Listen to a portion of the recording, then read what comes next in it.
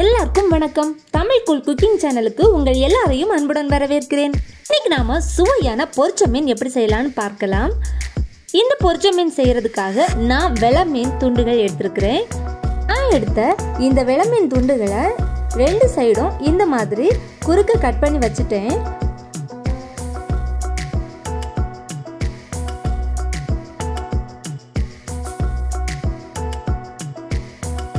இப்போ நாம பொரிச்ச மீனுக்கு தேவையான மசாலா எடுத்துடலாம். இப்போ நாம ஒரு பவுல் எடுத்து ஒரு டீஸ்பூன் நல்ல மிளகு பொடி கால் டீஸ்பூன் மஞ்சள் பொடி ஒரு டீஸ்பூன் மிளகாய் பொடி.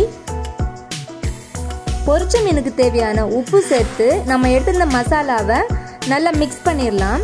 அப்புறமா நம்ம க்ளீன் பண்ணி கட் பண்ணி வச்சுருக்கிற இந்த பொரிக்கிறதுக்காக வச்சுருக்கிற மீன் மேலே இந்த மாதிரி தூவி இந்த மாதிரி கலந்து விட்டுக்கணும். நம்ம எடுத்த எல்லா ஃபிஷ் துண்டுகள் மேலேயும் இந்த மசாலா பட்டிருக்கணும் நம்ம எடுத்திருக்கிற இந்த மீன் துண்டுகளின் மேலே ரெண்டு சைடும் இந்த மாதிரி மசாலாவை தூவி விட்டுட்டு இந்த மாதிரி கலந்து விடணும். நம்ம எடுத்திருந்த இந்த ட்ரை மசாலா பவுடர் எல்லாம் இந்த மீன் மேலே நல்லா பற்றி பிடிக்கிறதுக்காக ஒரு ரெண்டு ட்ராப் தண்ணியை இந்த மீன் மேலே சேர்த்துடலாம். சேர்க்கும் போது நம்ம மசாலாவை கலந்து விடுறதுக்கு ரொம்ப e- ஈஸியாக இருக்கும்.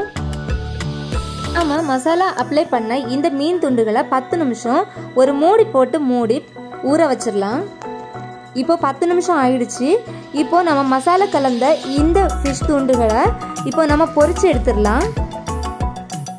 பொரிக்கிறதுக்காக தோசைக்கல்லோ இல்லைனா இல்லைன்னா இந்த மாதிரி ஃப்ரையிங் பேனும் எடுத்து நீங்கள் பொறிச்சு எடுத்துக்கலாம்.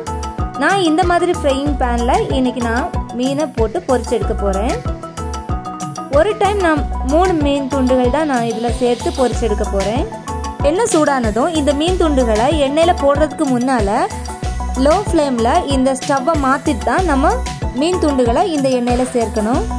பொரிச்சிட்டு இருக்கிற இந்த மீனின் ஒரு பக்கம் வெந்துடுச்சான்னு நம்ம கண்டுபிடிக்கிறதுக்காக பத்து நிமிஷம் கழிஞ்சு பொரிச்சிட்டு இருக்கிற இந்த பொரிச்ச மீன்லேருந்து பொரிச்ச மீன் வாசனை ரொம்ப நல்லா வரும். இந்த டைம் நமக்கு தெரிஞ்சிடும் மீன் நல்லா வெந்துடுச்சுன்னு அப்புறமா நம்ம ஒரு தோசை கரண்டி பேக் சைடு இந்த மாதிரியோ அல்லது டாங்ஸ் அல்லது ஸ்பேச்சுல வச்சு இந்த பொரிச்ச மீனை நம்ம திருப்பி போட்டுக்கலாம். பத்து நிமிஷம் இந்த பொரிச்ச மீன் வந்து திருப்பி போட்டதுக்கு அப்புறமா வேகணும். இப்போ பொரிச்ச மீன் ரெடி ஆயிடுச்சு. ரொம்ப டேஸ்டாக இருந்துச்சு. இந்த பொரிச்ச மீனை நீங்களும் உங்கள் வீட்டில் செஞ்சு பாருங்கள் எல்லாருக்கும் ரொம்ப பிடிக்கும். இந்த பொரிச்ச மீன் செய்கிற வீடியோ உங்களுக்கு பிடித்திருந்தா மறக்காம இந்த வீடியோவுக்கு ஒரு லைக் கொடுங்க. இந்த சேனலை சப்ஸ்கிரைப் பண்ணுங்க அப்படியே பெல் பட்டனையும் ப்ரெஸ் பண்ணுங்க. லைக் பண்ணுங்க ஷேர் பண்ணுங்க கமெண்ட்ஸ் பண்ணுங்க.